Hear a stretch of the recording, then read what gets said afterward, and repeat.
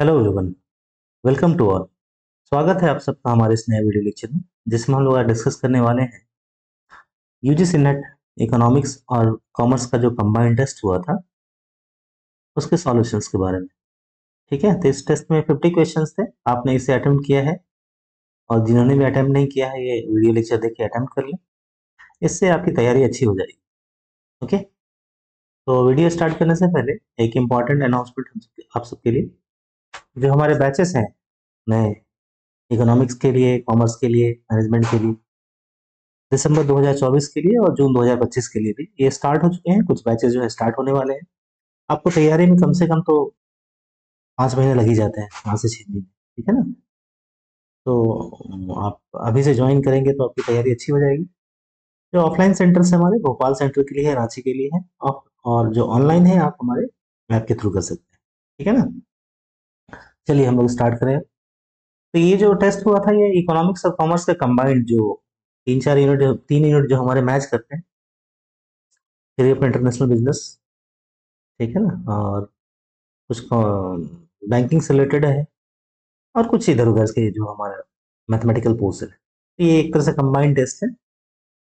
Mainly हमारे unit one को cover करता है, और इंटरनेशनल बिज़नेस तो चलिए हम लोग पहला क्वेश्चन देखते हैं। पेपर जो है हमारा हिंदी इंग्लिश दोनों में ही है तो अब जैसा हो देख लें। तो पहला क्वेश्चन बोलता है कि अस्फीति को दूर करने के लिए निम्नलिखित में कौन सी प्रशंसनीय मौद्रिक नीति है?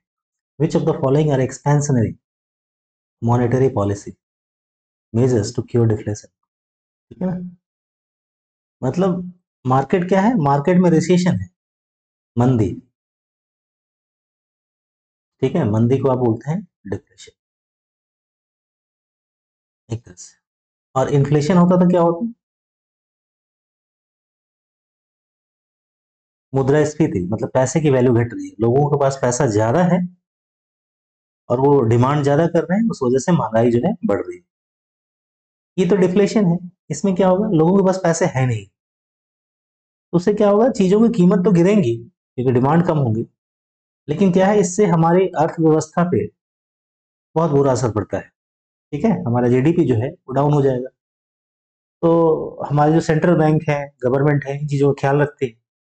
अब, और जो डिस्कशन है, ये तो हमने कर ही लिया है। अब हम इसमें आंसर देखते हैं, ठीक है ना? तो क्या बोल रहा है पहला में? The central bank buy government security from commercial bank and public ठीक है? तो आजकल ऐसे क्वेश्चन आते हैं। A B C D E और एक से ज़्यादा ऑप्शन है जो सही उनको चुनना है। तो आप क्वेश्चन को ध्यान से पढ़िए। और देखिए, इस क्वेश्चन का जो मेन क्रक्स है, जो मेन मुद्दा है, वो क्या है?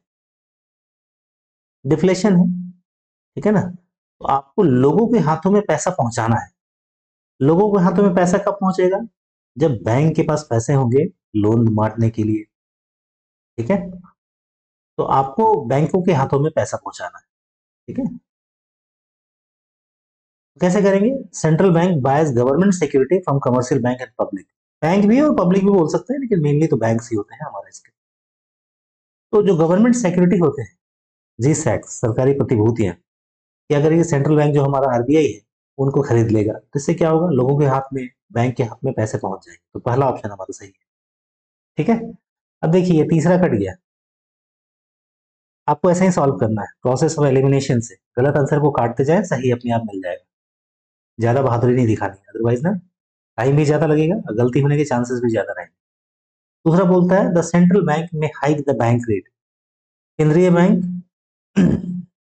जो है ना बैंक रेट को बढ़ा सकती है। तो बैंक रेट को अगर बढ़ाएँगे तो इससे क्या फ़ायदा होगा? बैंकों को लोन और महँगा मिलेगा। बैंक अगर आरबीआई से पैसे लेंगे तो उन्हें ज़्यादा ब्याज चुकाना पड़ेगा तो नहीं लेंगे। तो ये हमारा नहीं होगा। लोगों के हाथ में पैसा पहुंचाना है बैंक के हाथ में पैसा पहुंचाना है। तो बी हमारा ऑप्शन नहीं होगा। अब सी देखते हैं the central bank may increase the cash reserve ratio अगर सीआरआर बढ़ा दे, बैंकों को अपने पास पैसा ज़्यादा रखना पड़ेगा तो अगेन बैंक के पास पैसे नहीं होंगे। लोगों को देने के लिए लोन के फॉर्म में बांटने के लिए ये भी नहीं होगा। Now D the central bank may reduce the cash reserve ratio हाँ कैश रिज़र्व रेशियो घटाएँगे, बैंक को अपने पास पैसे कम रखने पड़ेंगे रिज़र्व में तो उसके पास ज़्यादा पैसे होंगे लोन देने के लिए। ठीक है ना? क्या लिख रहे हैं? डी वाले में, केंद्रीय बैंक नकद नगद आरक्षित अनुपात को, आरक्षित अनुपात को घटा सकता है। बिल्कुल ये सही है। ठीक है? फिर ई वाला ऑप्शन क्या है हमारा? केंद्रीय बैंक बैंक दर को घटा सकती है। बिल्कुल, बैंक दर को घटाएगी तो बैंक जो है आरबीआई से ज़्यादा पैसे लेंगे, उसके पास ज़्यादा पैसे होंगे तो वो लोगों में लोन के फॉर्म में बांट सकती है। ऑप्शन होगा ए डी और ई e. कौन सा है हमारा ऑप्शन नंबर ए डी और ई e? तो आप देखिए इसमें ए डी ई कौन मैच करता है? ऑप्शन नंबर जो फोर है हमारा। ठीक है? क्लियर तो इस तरह से आपको एक एनालिसिस करके, अच्छे से पढ़ के अदरवाइज़ इक्वेशन इजी है, लेकिन हड़बड़ी में आप करेंगे तो फिर वो दो नंबर आने के बजाय वो फिर आपके हाथ से नंबर निकल जाएँगे, ठीक है? तो आते हैं क्वेश्चन नंबर टू में। The main feature of T bills treasury bills ठीक है? राजकोष पत्र, इसकी मुख्य विशेषताएँ क्या? है तो हमने देखा था टी बिल्स कितने तरह के होते हैं, ठीक है? उसमें हमने एक इंपॉर्टेंट बात देखी थी।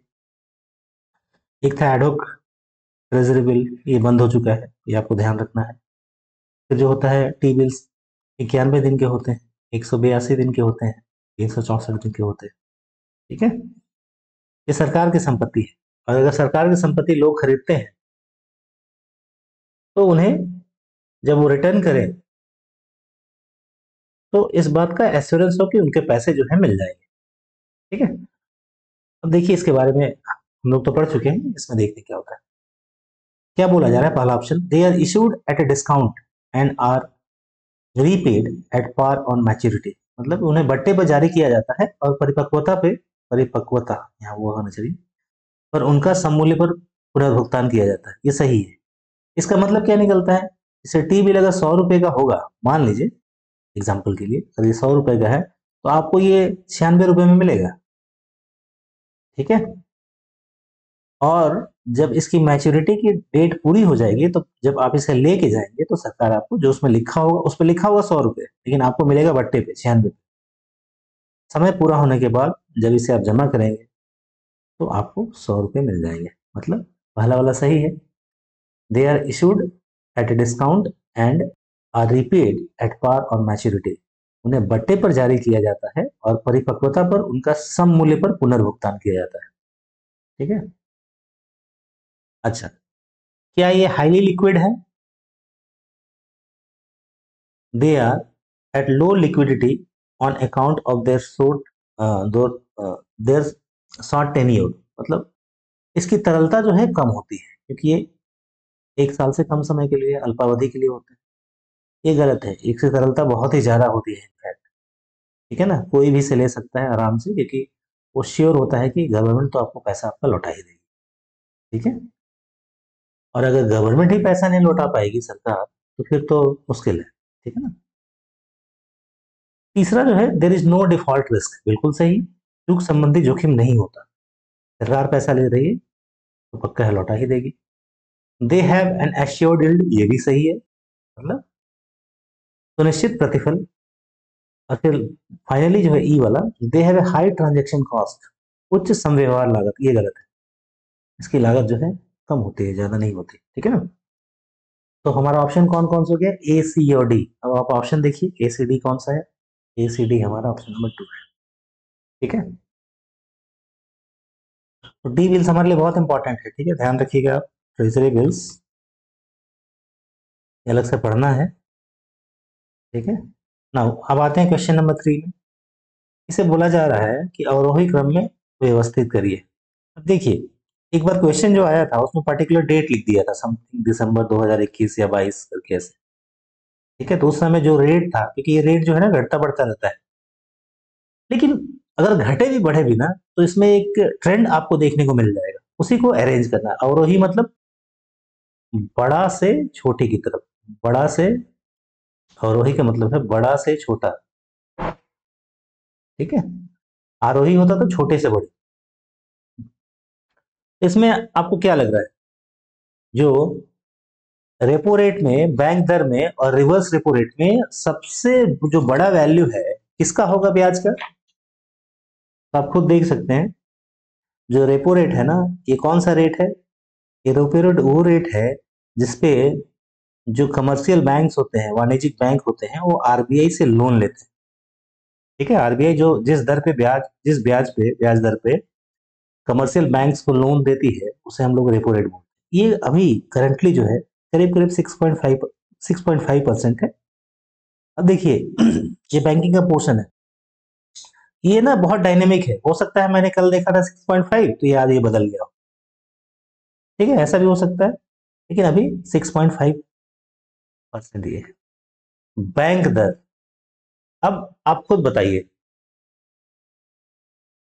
बैंक दर क्या होता है? बैंक दर जो है ना, इसमें लंबे समय के लिए पैसा जो आरबीआई देती है, लंबे समय मतलब एक साल से कम ही, उतना लंबा नहीं कि एक साल से ज़्यादा हो जाए। और दूसरा, उसमें कोलेट्रल जमा नहीं करना पड़ता। तो ज़ाहिर सी बात है, इसमें ब्याज दर ज़्यादा ही होगा। अच्छा। और रिवर्स रेपो रेट क्या है? आरबीआई जब वाणिज्यिक बैंकों से पैसा ले कमर्शियल बैंक से जब पैसा ले तो जो रेट पे वो पैसा लेगी कमर्शियल बैंक से, जब पैसा लेती है तो जिस रेट पे पैसा लेती है, उसे बोलते हैं रिवर्स रेपो रेट ठीक है? अब आप खुद ही अंदाज़ा लगा सकते हैं, इसमें सबसे ज़्यादा कौन होगा? सबसे ज़्यादा होगा बैंक दर, क्योंकि ये लंबे समय के लिए है और साथ में कोलेट्रल कुछ नहीं रखना है, कुछ गिरवी नहीं रखना है इसमें रिस्क ज़्यादा है। तो ये सबसे ज़्यादा होगा और ये करीब करीब अभी six point seven five percent उसके बाद क्या होगा? अगर आरबीआई बैंकों से पैसा ले रही है तो ज़ाहिर सी बात है वो ज़्यादा ब्याज नहीं देगी तो ये सबसे कम हो जाएगा और ये बीच की वैल्यू हो जाएगी। तो हमारा ऑप्शन क्या हो जाएगा? पहले हो जाएगा बी फिर हो जाएगा ए फिर हो जाएगा सी हमारा ऑप्शन नंबर टू जो है करेक्ट है। ठीक है?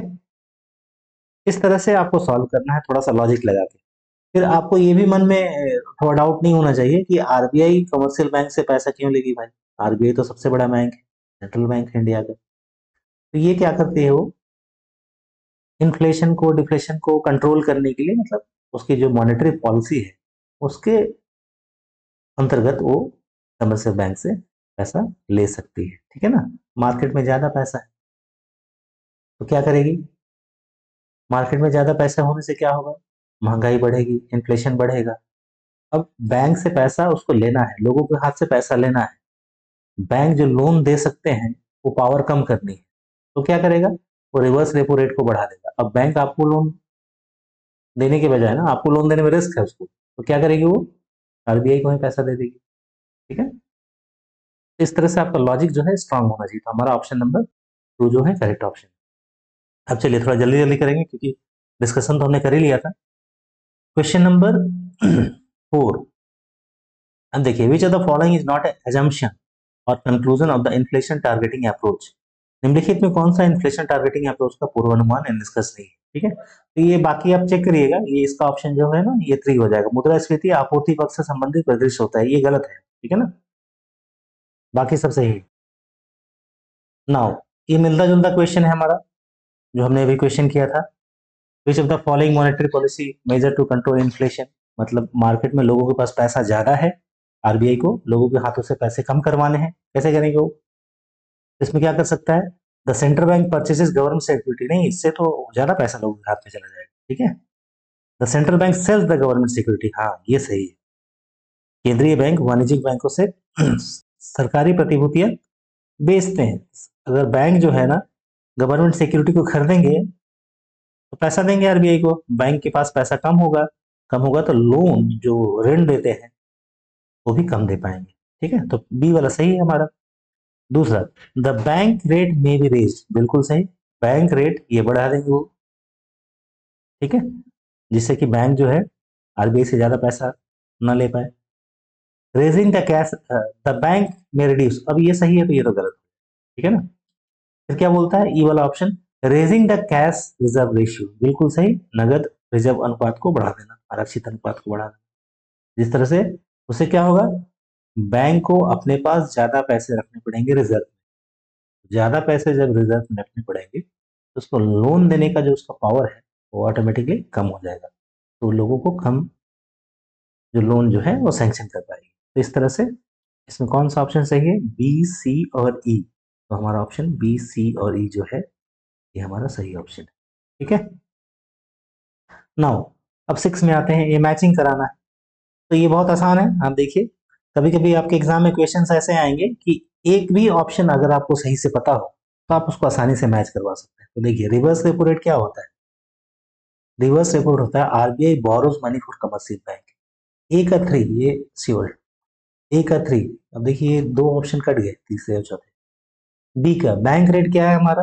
तो बैंक रेट हो जाएगा हमारा RBI provide loan to commercial long term ठीक है ना? तो ये लॉन्ग टर्म के लिए जो लोन दे रहा है, ये हमारा क्या है? हमारा बैंक रेट है।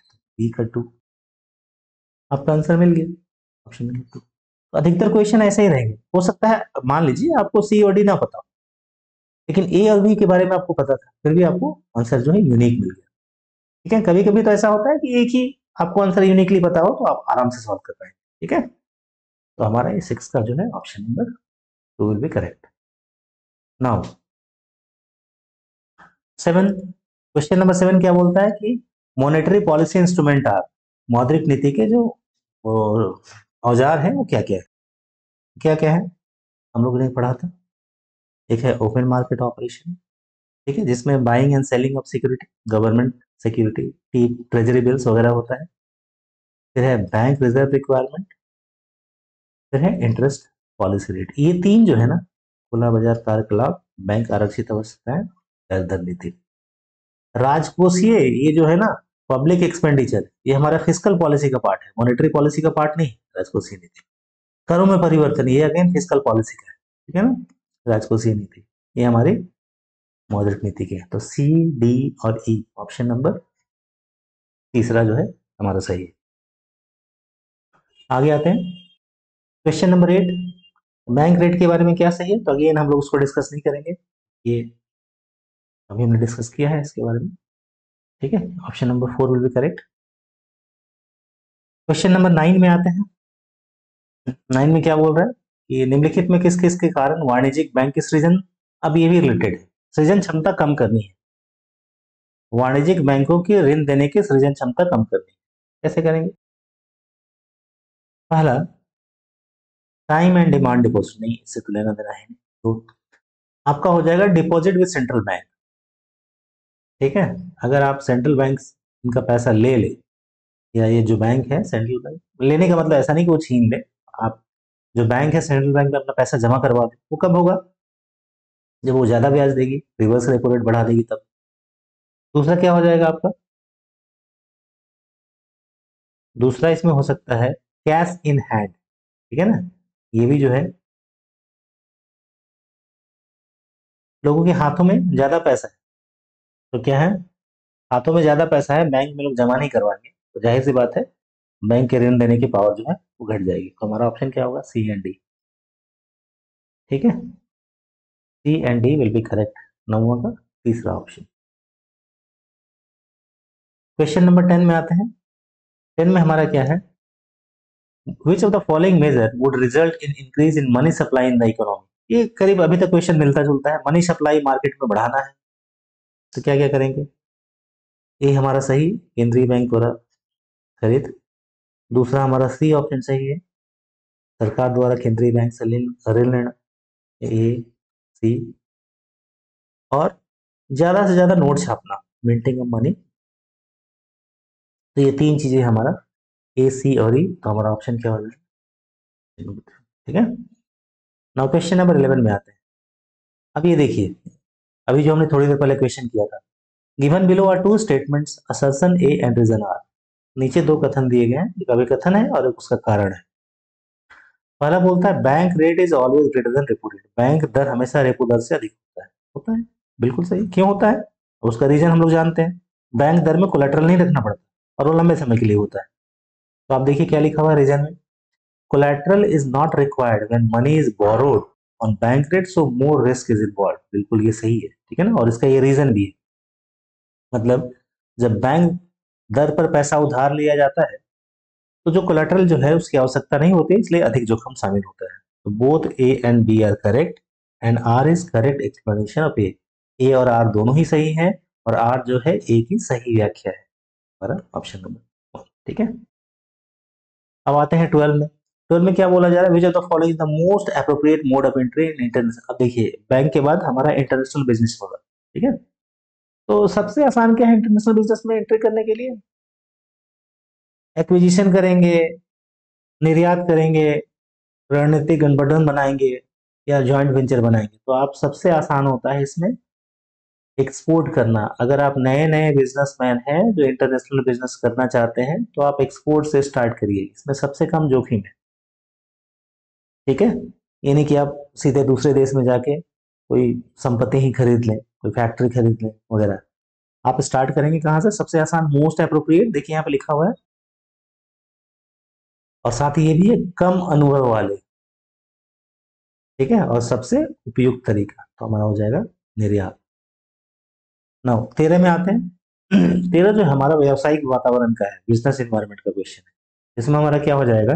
Which of the following described as a person right to live in healthy environment regardless of the race nation nationality income gender और एज निम्नलिखित में से किसे जाति, राष्ट्रीयता, लिंग या आयु से घटकर, हटकर स्वस्थ वातावरण रहने का अधिकार बताया गया? तो ये हमारा इन्वायरमेंटल इक्वलिटी पर्यावरणीय समान।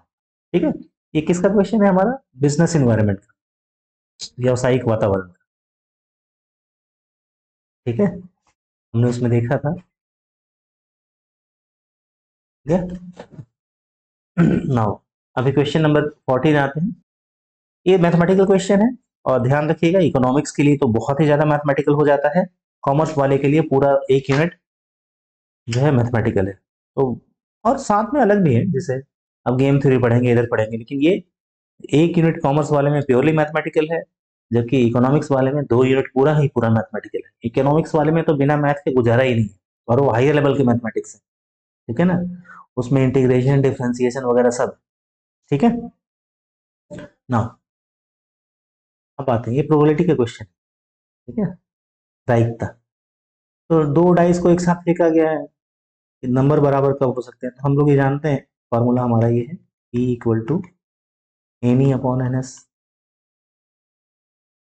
तो एक, दो डाई को फेंकेंगे तो सैंपल स्पेस में कितने एलिमेंट आ जाएँगे? छः दोनों बराबर कब कब है? जब एक एक हो, दो दो हो, तीन तीन हो, चार चार हो, पाँच पाँच हो और छः छः हो मतलब ऊपर आ गए छः सॉल्व करेंगे तो वन अपॉइंट सिक्स तो हमारा ये आ गया फोर्टीन का तीसरा। ठीक है? पंद्रह वाले में आते हैं। पंद्रह वाले में क्या बोला गया? एक बैग में नौ डिस्क है, जिसमें चार लाल, तीन नीली और दो पीली है। डिस्क आकार में समान है। बैग से यादृच्छिक रूप से मतलब एट बिना देखे हुए। एक डिस्क निकाली जाती है, इसकी प्रायिकता क्या है? ये नीला होगा। ठीक है? अब देखिए, नीला पे आपका फोकस है। नीला कितना है? तीन। तीन में से एक निकालने का जो ये है थ्री सी वन ये तरीके हैं। ठीक है? और टोटल कितने तरीके हैं? नौ डिस्क है। नौ में से एक निकालने के तरीके हैं नाइन सी वन तो आपका जो ऊपर वाला फॉर्मूला था हमारा E equal to NE upon N S तो एनी की वैल्यू हो जाएगी ये और इसकी वैल्यू हो जाएगी नाइन सी वन ठीक है? अब इसे आप सॉल्व कर लें। हमने क्लास में किया था। थ्री सी वन की वैल्यू कितनी आ जाएगी? थ्री सी वन की वैल्यू आ जाएगी। अगर आप लिखते हैं थ्री सी वन फार्मूला क्या होता है? ये क्या है?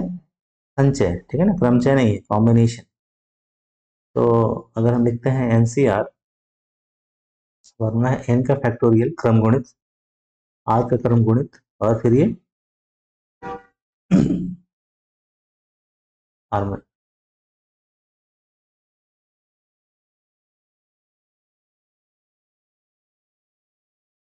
ठीक है तो इसमें क्या था?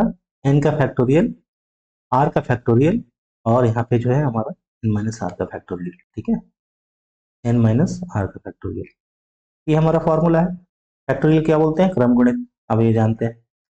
तो इसमें अप्लाई करेंगे थ्री सी वन की वैल्यू क्या आ जाएगी? थ्री सी वन की आ जाएगी थ्री का फैक्टोरियल तीन का फैक्टोरियल फिर आ जाएगा आर की वैल्यू एक है, एक का फैक्टोरियल तीन माइनस एक, दो का फैक्टोरियल तो आ जाएगा तीन गुणा दो गुणा एक, नीचे दो का फैक्टोरियल है। यहाँ से यहाँ कट गया। ये ऊपर आया तीन। और नीचे आ गया क्या आपका? नाइन सी वन की वैल्यू आ जाएगी नाइन आ जाएगा वन अपॉन थ्री हमारा आंसर क्या हो जाएगा? वन अपॉन थ्री क्लियर अब आते हैं सिक्सटीन अब ये सब हमने बहुत अच्छे से प्रैक्टिस कर रखा है। तो ये आप क्या करेंगे? आर्यभट्ट वाले इसमें क्या है ना? आपको क्या करना है? क्योंकि इसमें कुछ जो लेटर्स हैं रिपीट हो रहे हैं। तो हमने कैसे कहा था इसे सॉल्व करने के लिए? इसे कहा था आप ऐसे सॉल्व करिएगा। पहले आप गिनिएगा। एक, दो, तीन, चार, पाँच, छ, सात, आठ, नौ, दस। टोटल कितने हैं? चार, पाँच, छ, सात, आठ, नौ, दस। तो ऊपर लिखिएगा टेन का फैक्टोरियल ठीक है ना? अब देखिए, कोई जो है ना लेटर रिपीट हुआ है क्या? यस ए रिपीट हुआ ए दो, तीन, चार। ठीक है? उसके बाद क्या है हमारा? टी भी रिपीट हुआ है। ये दो बार है। और कोई रिपीट हुआ है? नहीं, और कोई रिपीट नहीं होगा। अब इसे सॉल्व करेंगे तो जब सॉल्व करेंगे तो आपका आंसर जो है, आ जाए ठीक है? अगर ऐसा कुछ रहता जिसमें रिपीटेशन नहीं होता, तब आपके लिए बहुत आसान था, ठीक है? ना जैसे पेंसिल वगैरह हमने क्लास में किया था। इसमें कोई जो लेटर है, कोई भी अक्षर है रिपीट नहीं हो रहे P E N C I L जबकि इसमें क्या है? ए जो है, चार बार रिपीट हो गया, और टी जो है, दो बार। ठीक है? नौ सत्रह। लीप ईयर जो है, जिसमें तिरपन रविवार हो। हमने कहा था इसके बारे में। हमारा फार्मूला तो वही रह जाएगा T equal to NE upon N S ठीक है? तो एनी अपॉन एन एस कैसे सॉल्व करेंगे? आपके फेवर में क्या क्या है? और टोटल कितने हैं? ठीक है? तो आप इसको सॉल्व करेंगे ना तो साल में बावन तो आपको मिल जाएँगे। लेकिन क्योंकि लीप है तो साल में कितने दिन होते हैं? लीप में तीन सौ छियासठ दिन। इसे सात से डिवाइड करिएगा। सात बचे पैंतीस। एक बचा। सात दुना चौदह। दो दिन बचते हैं। अब ये दो दिन क्या क्या हो सकते हैं? आप देखिए, हो सकता है ये संडे हो और अगला दिन मंडे हो। मंडे हो, ट्यूसडे हो। ट्यूसडे हो, वेडनेसडे हो। वेडनेसडे हो थर्सडे हो। थर्सडे हो फ्राइडे हो। फ्राइडे हो सैटरडे हो। सैटरडे हो और संडे हो। यही आपको मिलने जा रहे हैं, दो दिन के कॉम्बिनेशन टोटल कितने हैं? एक, दो, तीन, चार, पाँच छ सात। तो सैंपल स्पेस में कितने एलिमेंट आ जाएँगे? सात। ठीक है? सैंपल स्पेस में जो है सात एलिमेंट आ जाएँगे। और ऊपर जो है, इसमें हमारे काम के कितने हैं? हमारे काम के सिर्फ़ दो हैं, क्योंकि बोला जा रहा है, आपको फ्राइडे चाहिए। तो फ्राइडे कितने हैं वाले में है? तो फ्राइडे देखिए, आपका एक यहाँ वाले में है फ्राइडे फ्राइडे सैटरडे ठीक है? यहाँ पे है फ्राइडे सैटरडे और एक यहाँ पे है थर्सडे फ्राइडे ऊपर आ जाएगा दो। तो हमारा आंसर क्या हो जाएगा? टू अपॉन सेवन ठीक है ना? Now question number thirteen eighteen sorry अब इसमें देखिए, वो लीप था और ये क्या है? साधारण वर्ष। तो साधारण वर्ष में क्या हो तीन सौ पैंसठ दिन होते हैं। आप ध्यान रखिएगा क्वेश्चन थोड़ा सा ट्विस्ट किया हुआ है। तो तीन सौ पैंसठ दिन में आप सात से भाग करेंगे तो सात बचे पैंतीस और एक बचेगा पंद्रह तो सात गुना चौदह, एक। तो एक ही दिन एक्स्ट्रा बच रहा है। तो क्या क्या दिन हो सकता है? रविवार, सोमवार, मंगलवार, बुधवार, बृहस्पतिवार, शुक्रवार, शनिवार। ठीक है ना? ये टोटल कितने हो गए? सेवन ऊपर में कितना? आपके काम का एक ही है उसमें। तो ये आंसर हो जाएगा हमारा वन अपॉन सेवन ठीक है ना? दोनों क्वेश्चन में डिफरेंस है। एक ये लीप है। लीप के वजह से एक दिन साल में ज़्यादा होगा, तीन सौ छियासठ दिन। इसीलिए जो आपको एक्स्ट्रा दिन बचेंगे जो किसी हफ़्ते में नहीं आते हो वो दो दिन है जबकि इस वाले में सिर्फ़ एक दिन ठीक है? हाँ। अब आगे आते हैं सॉरी आगे आते हैं क्वेश्चन नंबर 19 ये क्या बोल रहा है? Frequency distribution consists of three components with total frequency 50, 60, 90 having means of this one combined mean निकालिए तो combined mean का फॉर्मूला क्या था? हम लोग देखिए। अगर मीन को आप दिखाते हैं ए से तो N one A one plus N two A two plus N three A three upon N one plus N two plus N three जब इसे सॉल्व करेंगे ना तो हमारा जो आंसर है 16.5 आएगा। आप इसे सॉल्व करके देख लीजिएगा, ठीक है? अगर कोई डाउट हो तो ज़रूर आप कमेंट करें, मैं कोशिश करूँगा जवाब देने की।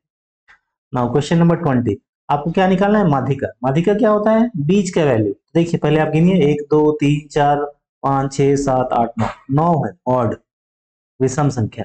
तो आप इसे अरेंज करिए अल्फाबेटिकल ऑर्डर आरोही क्रम में, ठीक है? और बीच की वैल्यू निकालिए। अरेंज करेंगे तो क्या आ जाएगा? पहले आ जाएगा पाँच, ठीक है? फिर आ जाएगा हमारा ग्यारह, फिर आ जाएगा बारह, फिर आ जाएगा बाईस, फिर आ जाएगा बत्तीस, फिर आ जाएगा इकतालीस, फिर आ जाएगा पैंतालीस, फिर आ जाएगा सतहत्तर और आ जाएगा सेवेंटी एट फॉर्मूला क्या था हमारा? N plus one upon two वाला टर्म। ठीक है तो कितने नौ प्लस एक, दस बटे दो मतलब पांचवा टर्म। एक, दो, तीन, चार, पाँच। पांचवा टर्म कौन सा है हमारा? पांचवा टर्म हमारा बत्तीस। ठीक है ना? तो आंसर क्या आ जाएगा बीस वाले का? हमें इसका ऑप्शन नहीं दिया है। क्लास टेस्ट है तो नेट का एग्ज़ाम नहीं है। ठीक है ना? बत्तीस। क्लियर? उसी तरह जब अब इसे सॉल्व करिएगा। क्वेश्चन नंबर ट्वेंटी वन को तो देखिए, वहाँ तो ये ऑड था ना? यहाँ ये इवन है। तो इवन का फॉर्मूला हमने बताया था। क्या है? यहाँ पे दो, अब आपके पास मेडियन आ जाएँगे। तो आप क्या करेंगे? आप करेंगे एन बटे टू एथ और एन बटे टू प्लस वन इन दोनों का आप मीन निकाल लेंगे औसत। तो हमारा जो, अगर इसको सॉल्व करेंगे तो आंसर आएगा करीब थर्टी सिक्स पॉइंट फाइव आप करके देखिए, ठीक है ना? क्योंकि यहाँ करेंगे तो बहुत लंबा टाइम लग जाएगा। उस तरह बाईस वाले का जो है, अब ये ये क्या दिया हुआ है? ये क्लासिफाइड है एक तरह से, वर्गीकृत है। तो हमारा फॉर्मूला है, आपको मध्यिका ही निकालना है। फॉर्मूला क्या था?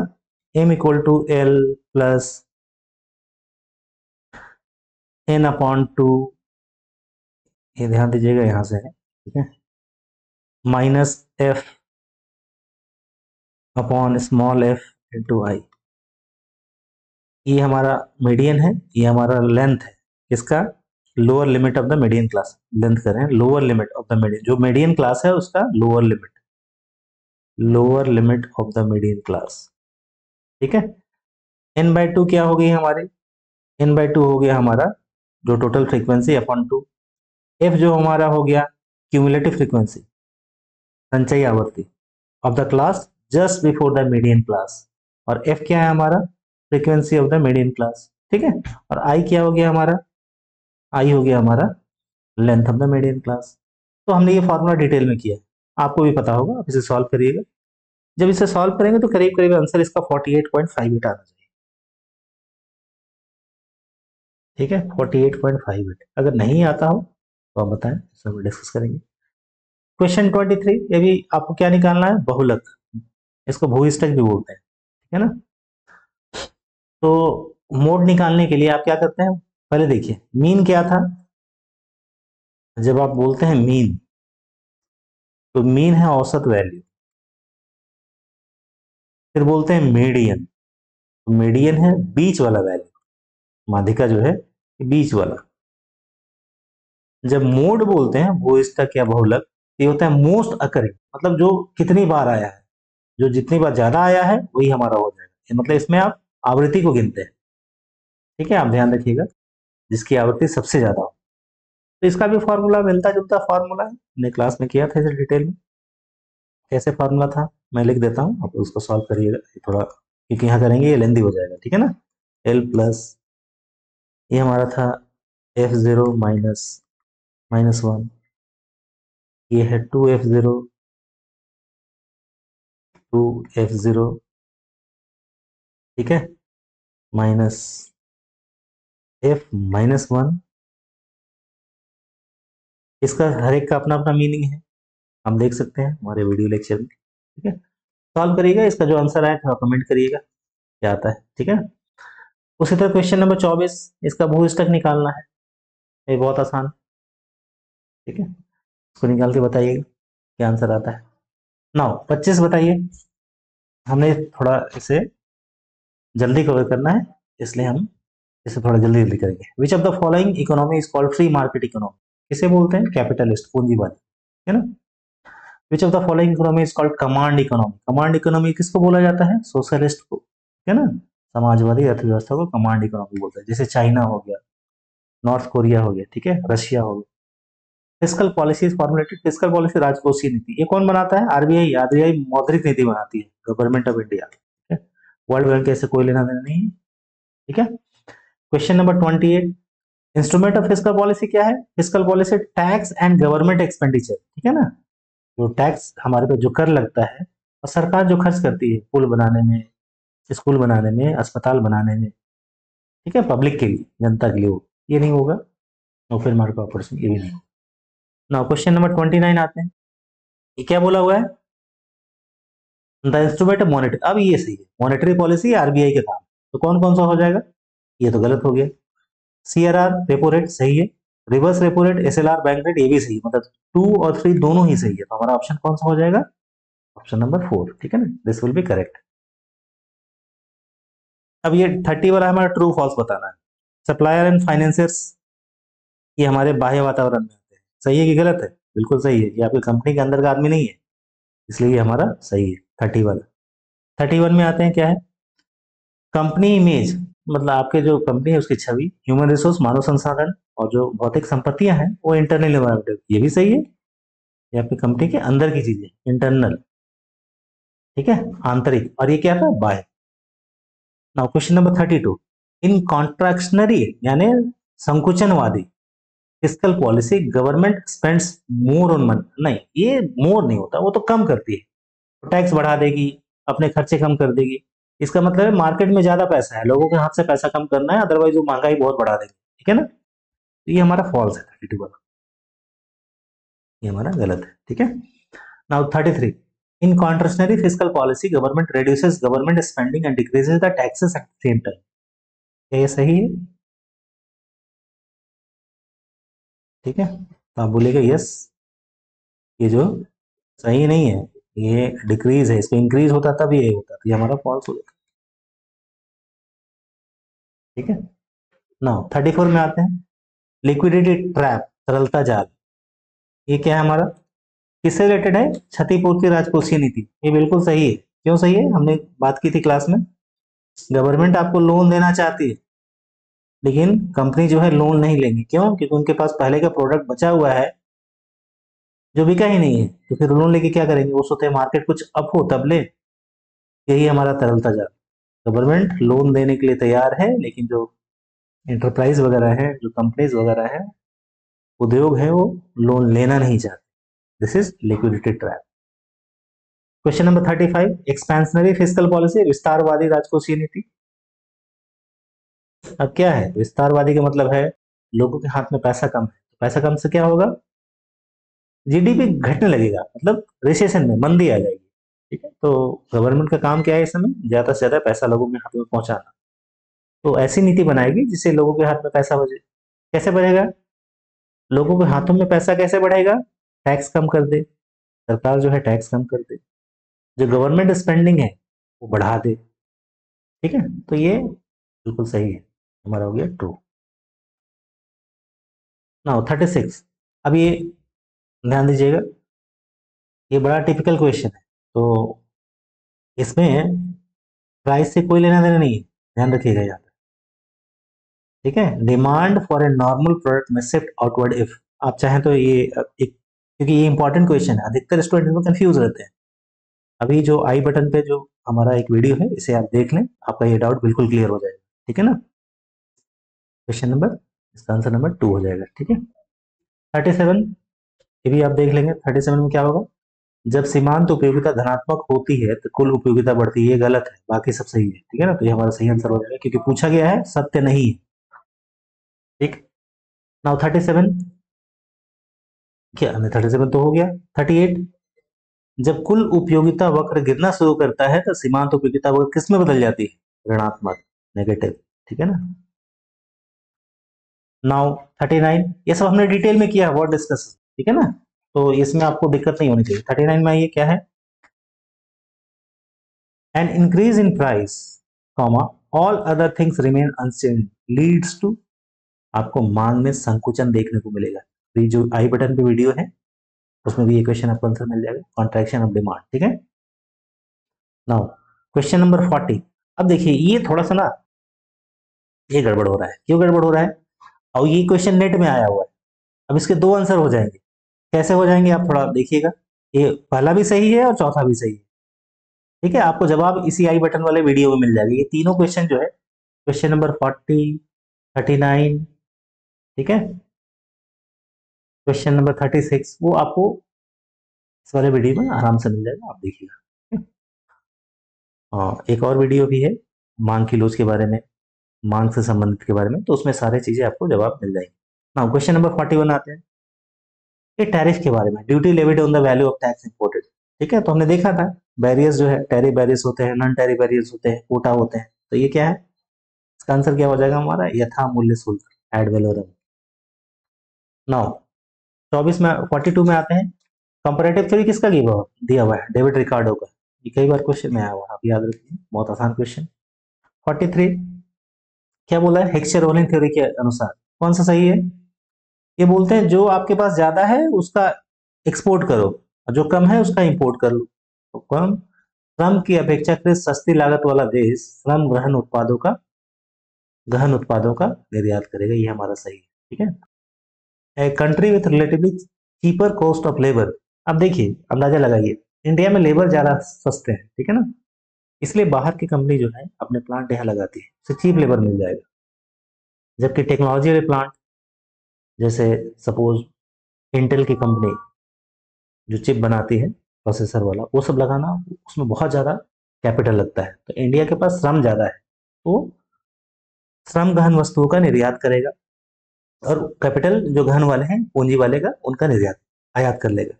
ठीक है? तो इसका ऑप्शन नंबर टू विल भी करेक्ट फोर्टी फोर अरेंज करना था इसका ठीक है? कस्टम यूनियन ये हमने डिटेल में देखा है।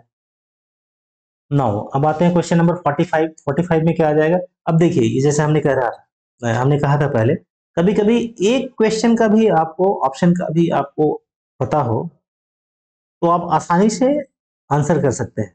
हमें फ्री ट्रेड एरिया के बारे में पता है, मान लीजिए। तो क्या होता है फ्री ट्रेड एरिया में? It abolish all restriction on trade among members members country में वो जो है ना, उसको तो ये हमारा ए का हो गया ऑप्शन नंबर थ्री अब आप देखिए, यहाँ आपका लक कितना अच्छा है। और ये ओरिजिनल क्वेश्चन है, हमारे रेट में आया हुआ है। ए का थ्री एक ही ऑप्शन है तो option number three will be our correct अब इससे आप मिला सकते हैं बी का फोर हो जाएगा सी का वन हो जाएगा डी का टू हो जाएगा। ठीक है? क्लियर तो ऑप्शन नंबर टू जो है हमारा, ये करेक्ट ऑप्शन है। फोर्टी सिक्स का बोलिए फोर्टी सिक्स में क्या आएगा? फोर्टी सिक्स में आ जाएगा ये देखिए not a part of World Bank group World Bank में ये बी आई एस क्या करेगा? ये तो हमारा बेजल नॉम से ये हमारा किससे? बेसल नॉम से। ये हमारा? ये हमारा आंसर हो जाएगा। नहीं है तो इसलिए। क्वेश्चन में पूछा गया नॉट ए पार्ट ठीक है? अब आते हैं सैतालीस पे। सैतालीस क्या बोलते हैं हमारा? सैतालीस में एफ़ डी आई ये हमारा हो जाएगा ए बी ओ डी ठीक है? अड़तालीस देखिए। अड़तालीस में क्या है हमारा? ये कंज्यूमर प्रोटेक्शन एक्ट ठीक है? जो उपभोक्ता का से संबंधित जो कानून है, अब इसे अरेंज करना है। तो अगर आप किसी दुकान से सामान लेते हैं, हमने एक आया, प्रेस खरीदा, उसमें कुछ गड़बड़ी थी तो हम लोग दुकान के पास ले गए और बोलते हैं इसे वापस कर दिए वो सीधे वापस नहीं करता। अगर कोई मैन्युफैक्चरिंग डिफेक्ट है, तब वो वापस कर देगा। लेकिन वो पहले क्या करेगा? थोड़ा मोड़ा है तो रिमूवल ऑफ़ डिफेक्ट वो कर देगा। तो हमारा ऑप्शन नंबर ए जो है कट गया। ठीक है? तो पहले आ जाएगा ए उसके बाद वो क्या करता है? अगर उससे भी नहीं हुआ तो जो पैसा लिया है, वो आपको वापस कर देगा। अगर कंडीशन सेटिस्फाई है तो ऐसे वो नहीं करता ठीक है ना? तो ए सी हो गया। ये हमारा ऑप्शन नंबर ना तीसरा जो है, आप देखिएगा इसे। ये करेक्ट है। फोर्टी नाइन एशियान का जो है, कहाँ है? जकार्ता में है। और जकार्ता कहाँ है आपका? जकार्ता जो है, इंडोनेशिया। में फोर्टी नाइन का ये होगा। ब्रिटेन वुड कॉन्फ्रेंस इससे क्या है? ब्रिटेन वुड जुड़वा, किसको बोलते हैं इसमें? आईएमएफ और आईबीआरडी हालाँकि ये भी सही है आपका ऑप्शन लेकिन आईडीए जो है ना डेवलपमेंट वाला, ये बाद में आया है, पहले ये आया है तो ये हमारा आंसर नहीं होगा, ध्यान दीजिएगा। ये क्या है?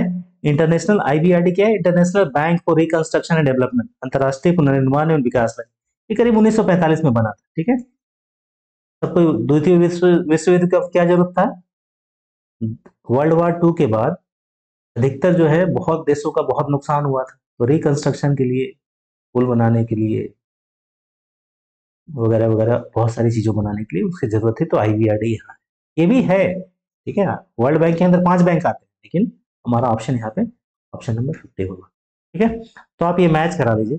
मैंने थोड़ा बीच में जल्दी जल्दी कर दिया है, इसलिए क्योंकि ये पढ़ाया वो तो है ही। आप देखिए आपका कितना ऑप्शन सही है, और कुछ डाउट हो, अगर बाहर के लोगों को तो ज़रूर कमेंट करें। मैं कोशिश करूँगा इसे सॉल्व करने की। ठीक है? Thanks for watching this video thank you